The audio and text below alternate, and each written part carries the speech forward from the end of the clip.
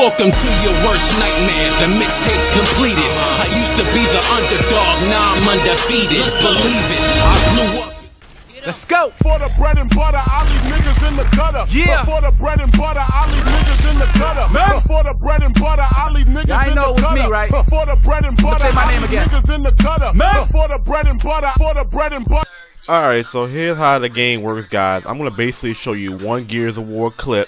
The clip will be shown twice. The first time will be at full speed, the second time will be at slower pace. You guys decide whether I just playing bad by commenting BK or the game just flat out cheating me by hitting BS, commenting BS. Remember guys, have fun.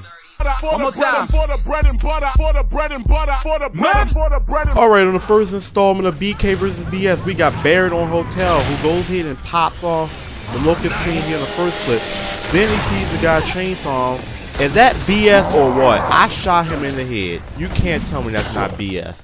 Or could it be BK? Did I not hit him in the head? Am I a BK? Let's take another look at slow motion here. I shoot this guy. I shoot this guy in the head. Uh, I'm sniping the guy with the chainsaw. Did I not hit his head? You guys tell me. BK or BS? Am I bad? Or is the game just bullshitting me? Let me know in the comments Alright, let's go with the section. See ya. I